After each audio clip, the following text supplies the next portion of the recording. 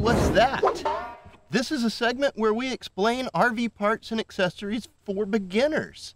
Today we're taking a look at something that's pretty commonly found on high-end travel trailers and fifth wheels. It's not always there, but if it's not, you can add it as an aftermarket accessory. It's the battery cutoff switch. It's pretty simple and it does exactly what it sounds like it does. When you go to put your RV into storage, all you have to do is flip this little switch and it disconnects the battery from the RV.